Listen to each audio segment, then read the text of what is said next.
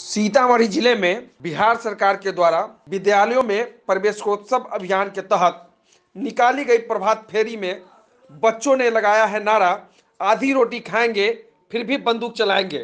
यह संकल्प हमारा टूटा। फिर भी बंदूक चलाएँगे। बंदूक दूक दूक दूक बंदूक चलाएँगे। बच्चा यह भी नारा लगा रहा है एक के फोर्टी सेवन चलाना है। आपको बता दें कि सीतामढ़ी ज़िले के डुमरी कला के एक विद्यालय में प्रभात फेरी के दौरान ऐसा नारा लगा है जिसने सभी के होश उड़ा दिए हैं। वीडियो आने के बाद हरकंप मचा हुआ है। मामला मेजरगंज प्रखंड के अंत- अंतर्गत आदर्श मध्य विद्यालय डुमरी कला की है, जिसमें राज्य सरकार के निर्देश के आलोक में प्रवेशोत्सव अभियान के तहत प्रभात फेरी निकाली थे- गई थी, जिसमें बच्चों ने स्लोगन ही बदल डाले हैं। और यह भी सभी प्राचार्य शिक्षकों के देखरेख में होता रहा। इसके दौरान बच्चों के स्लोगन, आधी रोटी खाएँगे, फिर भी स्कूल जाएँगे, को बदलकर, आधी रोटी खाएँगे, फिर भी बंदूक चलाएँगे का नारा कर दिया। वहीं स्लोगन के दौरान, हर बच्चों का नारा है, शिक्षा अधिकार हमारा है को बदलते हुए बच्चे ने यह नारा लगाया। एक के फोर्टी सेवन चलाना है, नारा कर दिया। पूरा मामला मेजरगंज क्षेत्र से जुड़ा हुआ है, जहाँ हाल ही में शराब तस्करों ने दरोगा दिनेश राम की हत्या कर दी थी। वहीं इस वीडियो के आने के बाद फ़िलहाल शिक्षा विभाग में हरकंप मचा हुआ है। बता दें कि सीतामढ़ी के डीएम, राज्य सरकार के दिशा निर्देश के आलोक में 8 मार्च को प्रवेशोत्सव अभियान को हरी झंडी देकर रवाना किया था। इस अभियान के तहत 8 मार्च से 20 मार्च तक पहली से आठवीं तक के बच्चों का नामांकन लेना था। इसको लेकर प्रभात फेरी निकाली गई थी, जिसमें तमाम विवादित नारे लगे हैं। इस अभियान के दौरान कई शिक्षक भी मौजूद थे। बावजूद इस तरह के नारे लगते रहे, इस संबंध में कई प्रशासनिक पदाधिकारियों से पूछा गया, जिसमें पदाधिकारियों ने बताया कि जाँच की जा रही है।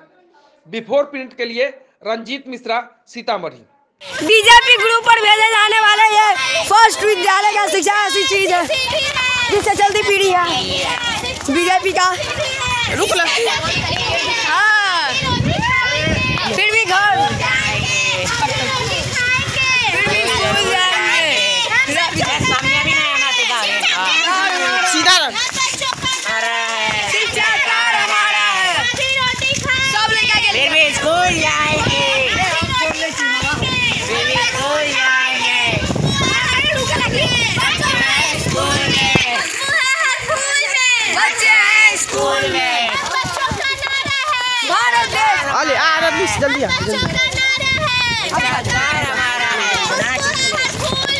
बच्चे हैं स्कूल में बच्चे हैं स्कूल में संकल्प हमारा टूटा संकल्प हमारा टूटा फिर भी बंदूक चलाएँगे फिर भी बंदूक चलाएँगे भारत देश हमारा है भारत देश हमारा है धीरे धीरे चलो रे धीरे धीरे चली ना ए आधी रोटी छोट छोट ए लाला हमरो हमरो लाला लाला नीचा ए नीचा अंदर तक अंदर तक अंदर तक ए हट हट के भागे ना मार दो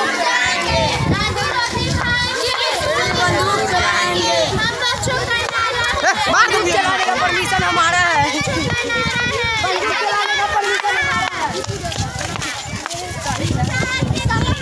जिससे जल्दी पीढ़ी है ए सीधा भारत देश हमारा है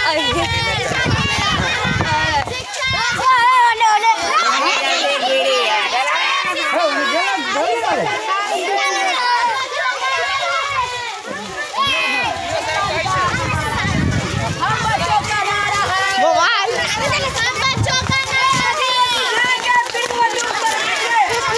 एक के फोर्टी सेवन चला दीजिए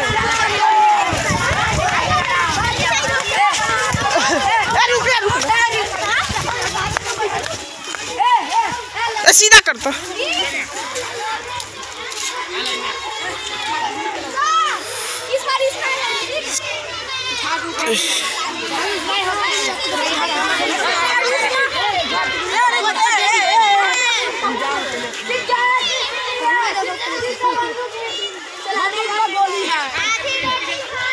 भी बंदूक चलाएँगे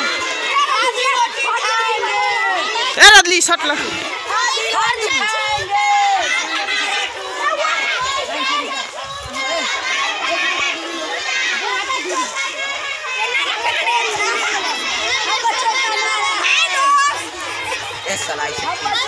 अगर आपको हमारा वीडियो पसंद आया हो तो इसे लाइक करें सब्सक्राइब करें और साथ ही बेल आइकन दबाना ना भूलें।